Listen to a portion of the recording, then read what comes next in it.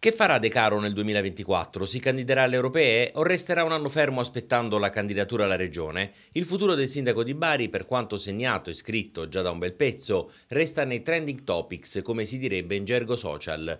Di certo c'è che fosse per lui De Caro resterebbe al comune di Bari, ma l'ipotesi del terzo mandato, possibile solo dopo un intervento legislativo, sembra ormai tramontata. Lui si dice pronto a tornare a fare l'ingegnere all'ANAS, ma il suo partito non glielo consentirebbe mai. Di De Caro, se si punta a vincere, non si può fare a meno. L'argomento per quanto gustoso è però, se vogliamo, il meno interessante e in effetti con il sindaco di Bari stasera al Graffio ci sarà tanto altro di cui parlare. Intanto di questo storico accordo a Napoli con il sindaco partenopeo e visto che parliamo di Napoli non si potrà non parlare del futuro del Baricalcio, sperando che vada come i tifosi sognano. Ma c'è tanto altro, il nodo ferroviario sbloccato qualche giorno fa dal Consiglio di Stato, le grandi opere già cantierizzate, quelle che saranno realizzate con i fondi del PNRR.